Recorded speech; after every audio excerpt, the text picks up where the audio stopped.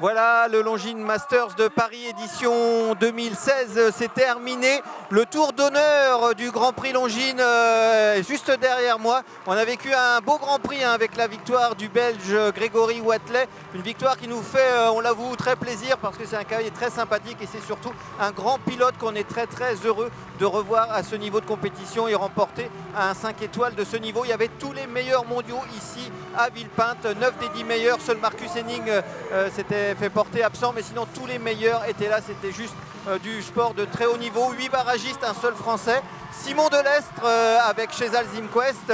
Malheureusement, euh, au barrage, c'est un petit peu vite, une foulée qui n'est pas venue et Simon un petit peu derrière.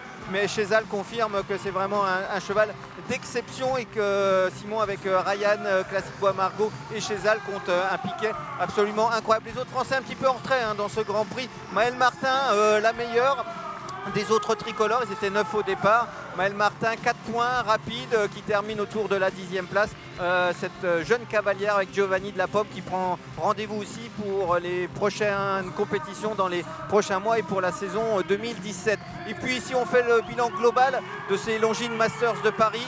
On retient bien évidemment la victoire de Kevin Stott, c'était vendredi avec Elki dans le Longines Speed Challenge. Un parcours absolument incroyable. À Los Angeles, lors de la même compétition du Speed Challenge, il avait échoué de très très peu il avait été le plus rapide, mais une barre l'avait pénalisé de 2 secondes et l'avait euh, laissé sur le podium, mais pas la première place. Cette fois, il l'a remporté et euh, avec une démonstration juste incroyable. Voilà, on a vécu euh, trois belles journées ici de sport sur Equidia Live avec des grands vainqueurs dans les grosses épreuves. Kevin Stott hier, vendredi pardon, dans le Longines Speed Challenge.